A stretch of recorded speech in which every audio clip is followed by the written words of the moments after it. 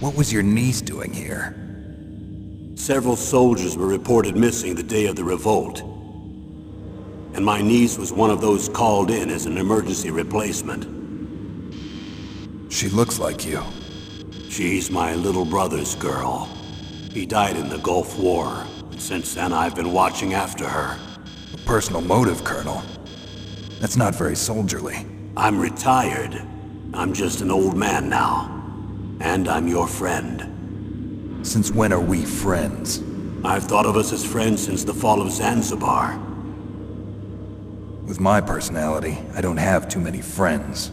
That's what I trust about you. It's what makes you human. Please, Snake. Save my niece, Meryl. All right. But I have two conditions. Name them. One, no more secrets between us. I want complete disclosure at all times. And two, I'll only accept orders directly from you, Colonel. No cutoffs involved, okay? Agreed. That's why I was called.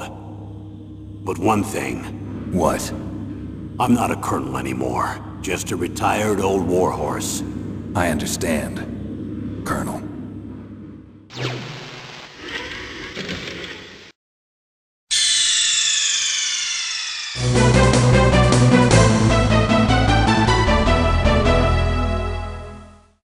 To my friends,